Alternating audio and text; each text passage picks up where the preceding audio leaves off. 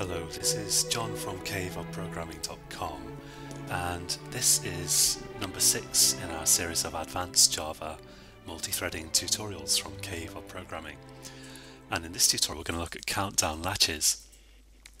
Um, so we saw um, earlier on um, in the series of tutorials that you can get into a lot of terrible, terrible problems um, with thread synchronization if you try to access um, even so much as an integer from multiple threads at the same time. But fortunately, there are a bunch of classes in Java that are thread safe and that you can um, really safely access from multiple threads without worrying about thread synchronization. And Countdown Latch is one of them. This is a really great class that you should definitely um, know if you're going to use any multi-threaded code. A countdown latch lets you um, count down from a number that you specify. I will specify three here. It could be anything, of course. And um, it lets um, one or more threads wait until um, the latch reaches a count of zero. So um, one or more threads can count down the latch, and when it finally equals zero, then um, one or more threads that are waiting on the latch can then proceed and carry on. So um, let's see how that works. And um, I'm sure you can think of a whole bunch of interesting usage, usages for this. Um, and of course this can this can be one um, sometimes just for very simple inter-thread um, communication. But I'll, I'll create a thread um, class here. Well I'll, I'll create a a class that implements the runnable interface so that I can run it in its own thread. I'll say class processor um, implements runnable. And um, I'll add the public void run method here.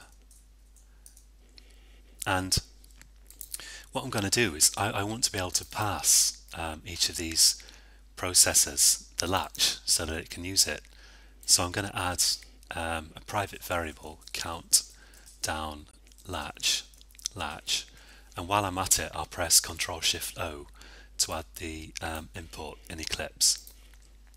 And then I'll add a constructor public processor that accepts the countdown latch count down latch latch and just sets this dot latch equal to latch Okay. Um, now in run, what I'm going to do is I'm going to um, I'll have a sysout in here so that we know when this thread started. And I'll say started. And I'll simulate some useful processing as usual by doing thread.sleep and let's have three seconds. And I will handle the exception with a try catch.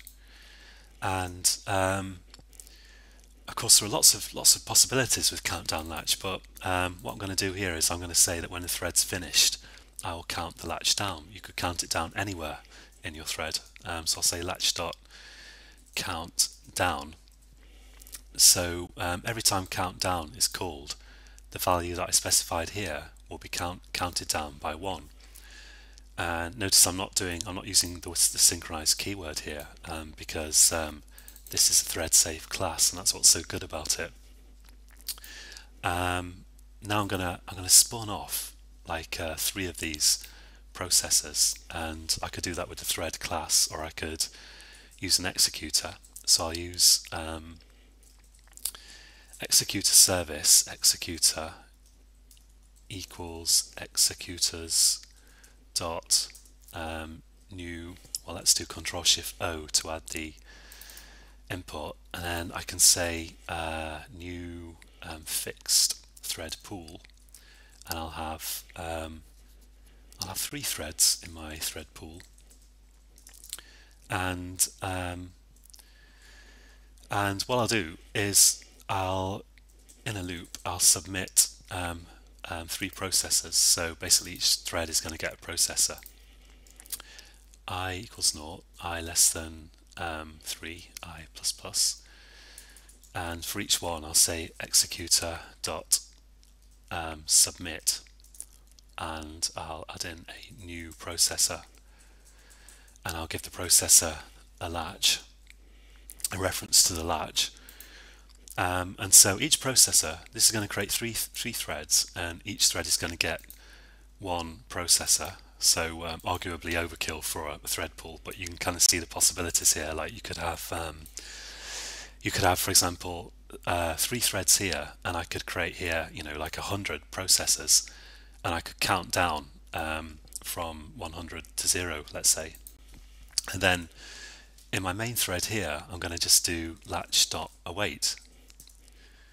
And there's also a version of await that takes a timeout. But what await does is it waits until the countdown latch has counted down to zero.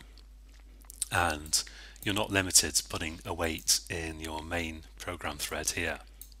You could put it in any number of threads. So for example, I could have almost kind of the inverse situation here where I have a bunch of threads that are all, all waiting and in my main program I could just count down from one to zero to sort of unleash the unleash the threads and kind of unleash the hounds type effect.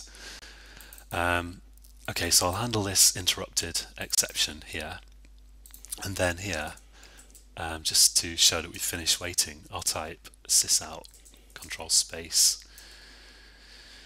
whoop, sysout and um, completed. So when I run this, all my threads will start and then each one will call countdown after three seconds. And each countdown um, decrements this um, latch by one and when it reaches zero, await finally returns and completed is executed. So a very useful class and there are um, a whole bunch of extremely useful high-level multi-threading classes in Java that basically means you will probably never have to muck about with um, things like notify and um, and you probably won't have to use synchronize very much either if you're careful. So um, we'll, we'll probably look at some more of those classes in future tutorials and um, for now, you can find this code on caveofprogramming.com. And until the next tutorial,